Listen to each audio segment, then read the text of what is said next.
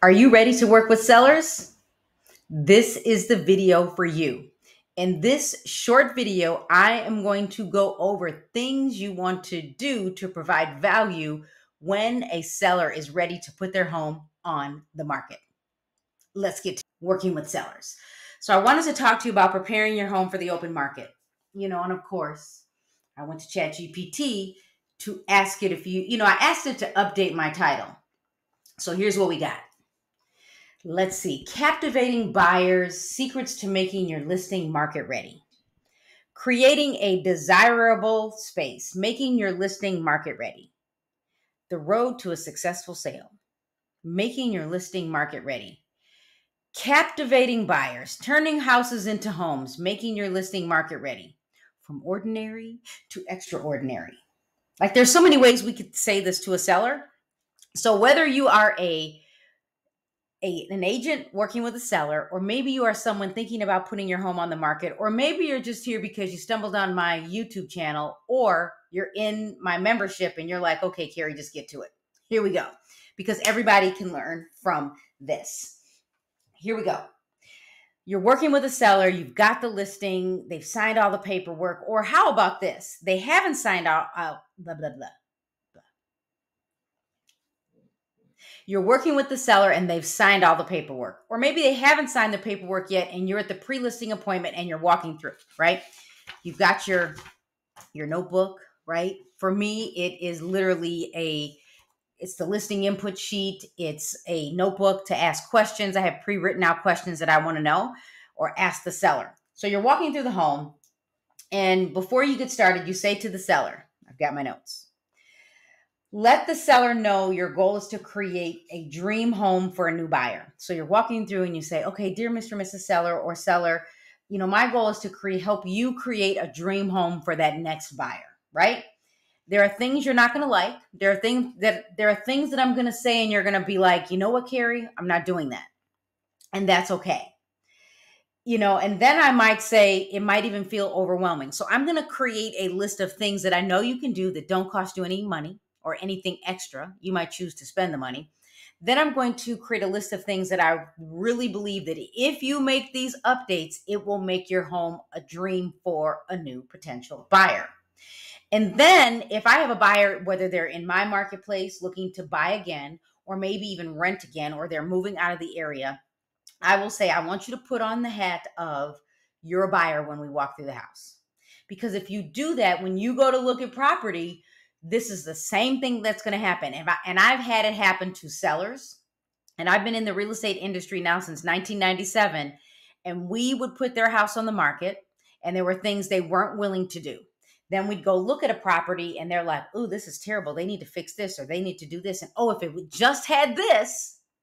So put on the hat of a buyer because once you do that, Mr. and Mrs. Seller or seller, once they do that, they will then see what a new buyer wants. Now, again, there are people out there like my husband, and he can just go in and buy the house. He will just go in. He doesn't care. Structure, great. Falling apart, still okay.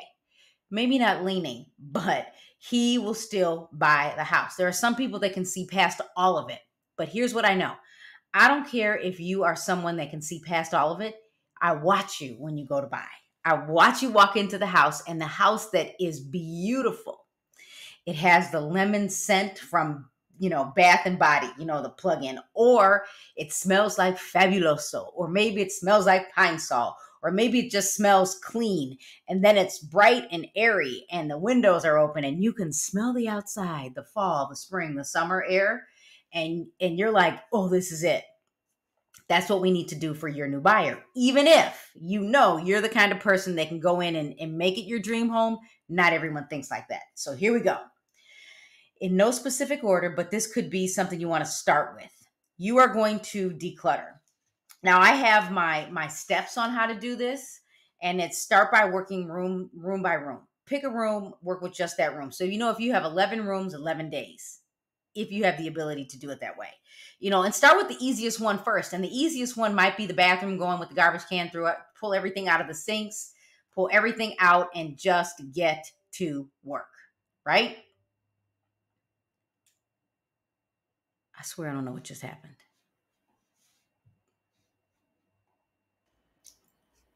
That's right, just get to work. Again, pick the easiest room first and get get to it. Number two, don't go this alone. Recruit your friends, your family. Go find someone to help. That's the free way. You could always hire, you know, day labor to come and help you get it done. Number three, the goal is to make your home look bright, open, and spacious. We want the buyer to see themselves in your home.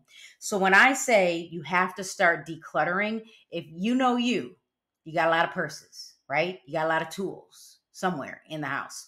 You need to start taking that out of those spaces so people can see their items in your space. So if you have 50 pairs of shoes, some of you know you have more. If you have 50 purses, you need to start taking out the items you're not using. Now, unless you're that really great influencer stylist that has everything put in a great order or it's staged, you know, it looks just beautiful. It looks like everything we see on Pinterest. I get it. I am all for less is more. And again, we haven't bought anything except you might buy some bins to start putting things away. So the other thing you're so you when you declutter, when you declutter, I'm going to say this is really your number 3, you're going to start packing at the same time. So number 2, clean your house. Hi I first of all, my husband always gets mad at me. He's like, "Carrie, why are you cleaning for the cleaning people?" And I'm like, "I'm cleaning. I'm I'm putting things away so they can actually clean because I didn't put things away." But you know put things away and then hire a professional cleaning service. If you're really good at cleaning go for it. If you're not you can get friends and family to come help you clean you know order some pizza whatever you need to do. You need to get the house clean but it might be better to just hire someone. And you know and when i say declutter and clean as your number two bring a friend over and say tell me about my house. What do you think? And and own it. They're going to tell you things you don't like. They're going to say yeah you need to clean the stove. For real clean the stove if you're someone that puts aluminum foil on your stove so it never gets dirty, I'm going to need you to take that off and I'm going to need you to clean it. Right. Um, if you have pets, ask a friend and go and ask them to, you know, say, Does my house smell like animal? They're going to tell you probably yes. That means the dog needs to be bathed more, and you are going to go through and clean everything, the things you didn't think you needed to clean, because you know if you put animals on the on the furniture, that's it sits in the furniture right? And people think if your house doesn't smell clean or isn't clean, they're like, oh, this is going to be a lot of work. So ask a friend, does my house smell like animal?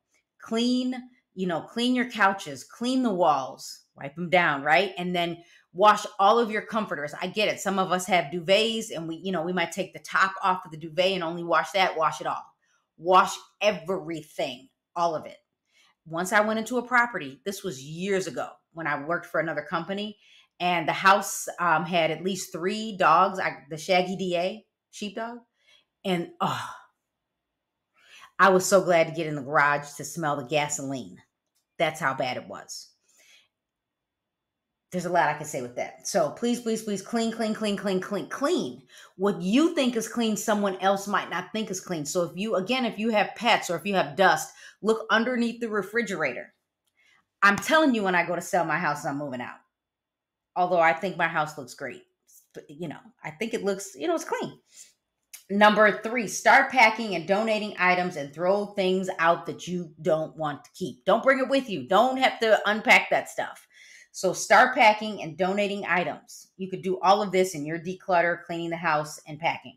It'll actually help when you go to move anyway. You know, take a, you know, get paper and write out what's in each box and slide it in that see through bin. Number four, if you made updates to the home, you know, you could break out a regular sheet of paper and list every update. What's the, you know, age of the furnace? What's the age of the air conditioning unit, the hot water tank, the age of the roof? Did you make any major updates? Did you pull the permits? You know if you did or you didn't. I've called villages and I'm, you know, I call and say, "Hey, I have a seller. They made some updates 10 or 15 years ago. What do they need to do?" And they said it's really between the buyer and the seller because they didn't pull a permit. So, you know, make sure if you're someone that made renovations and you didn't pull a permit, please call your village or your city to find out the rules. Don't just go fixing things.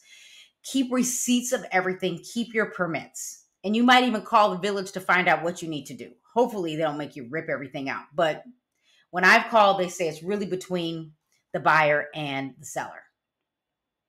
So always know that. Okay. Number five, remove extra items from your home. Like you know, if you have a living room set and there's just that extra rocking chair that you don't need.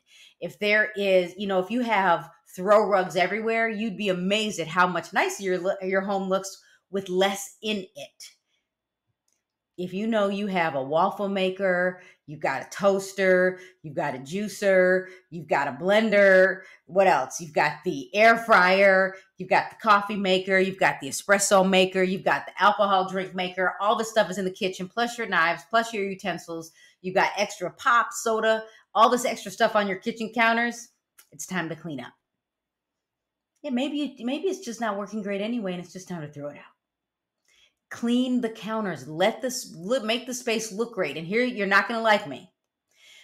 Real estate agents i'm talking to you so you can know how to talk to your sellers. But if you are a seller i need you to go in and look at your cabinets get rid of stuff.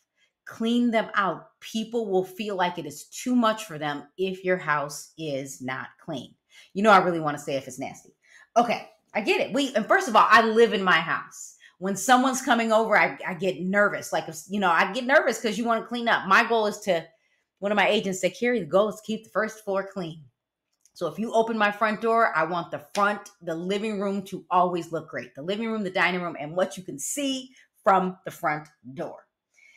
Uh, let's see. Number six, get rid of furniture you're not, you know, you're not going to take with. Get rid of furniture that has too much space. I had a seller once and went to the property and the seller said, Hey, Carrie, we're going to get rid of everything. And I'm like, okay, but wait a minute. Before we get rid of everything, what are you doing? They said, we're moving. We're not taking anything with. And I'm like, okay. They said, my friend's coming to get this. My cousin's coming to get this. I'm like, wait a minute.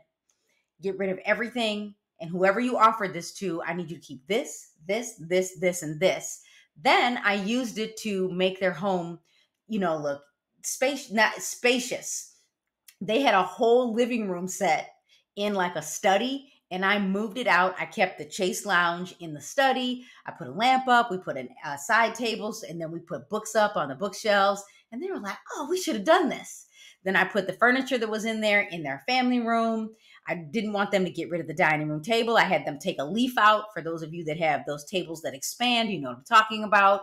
And then, you know, the homeowners were like, "We're going to put in granite counters everywhere." And I'm like, "You don't need to do that. Let me tell you what I want you to do. I want you to paint." I want you to fix, replace all of the light switch plates and the outlet plates. Give it a nice clean look. Some people are like, oh, I don't have to do that. I can clean it. Nope. It is cheaper to go to Lowe's, Menards, Home Depot, Amazon, Ace Hardware, and just get everything new. Trust me. It'll look so much better. And then I was like, I, you know, I want you to paint the whole house. And if you and they were like, we're just going to replace the carpet here. I'm like, if you can not do the granite counters, I want the carpet replaced in the whole house and paint and change the light fixtures to what's new and you know and what's what people want today like what's the trend? And you know what? They did all of that and they still replaced the countertops. It worked. It really did work. Um so you don't have to get rid of everything because we need the house to look great. No, you know, number eight was paint brighten up the home. If your if your home already is you know freshly painted and looks great i get it. But if you have an orange kitchen a blue living room and a yellow dining room. I mean, it, ask a friend what they think because it's not what you think and not what you love all the time that is going to make your house sell. Now, there's some houses that can be cute like that. Remember, for, number nine, first impressions are everything. When I drive up to your home, what do you think? What do I think? Put on the hat of a buyer. I was just telling my husband, we recently ran to Menards and I'm like, oh, you know, we were doing some other updates. We got busy, and I have weeds on the side of the house. I'm like, can I at least give mulch in the front and put some flowers in? Like, I, I I'm truly believe that the front of your house really does matter. How many cars do you have in the driveway? That part. And then number 10, when you purchase a home, you will want the house to be perfect, even if you don't believe it. We watch you when we go to shop. So if you're a real estate agent and you're listening to this, I want you to pay attention to your clients when you when you shop for a home. And let me just give you a number 11. Take your client out to look at new construction. Take your client out to look at a few homes, even if it's just open houses and pay attention. When they go into a house that has an awful smell, they do they do this. Or they walk into a house and like, "Yeah, no. Nope, it's got the space, but it needs paint." Write all this down and then take when they see houses that are you know updated or they were and I, I won't even say staged because i can stage a home with your own furniture. I can put the lights in the right places. We can open the blinds. I should have said that clean your blinds you know wash the drapery. I can go through a home and make it look great just with what you have just with what you have. People need to see themselves in the space. So pay attention to your clients when you go to take them to look at new construction because i promise you they will tell you everything you need to know so you can go back and say, I watched you. When you walked in a, into a home that looked beautiful, you didn't care if the roof was old or new. You cared about could you live in it. Although we do want the, the, the roof to be great. I watched you. So those are my tips. Whether you are a seller, whether you're an agent and you're thinking about selling your home, or you're thinking about working with a seller, if you do these simple things, you will have the house that sells first in any market. Price is important, but in any market, the houses that move the fastest are the ones that look the best. Don't you want multiple offers?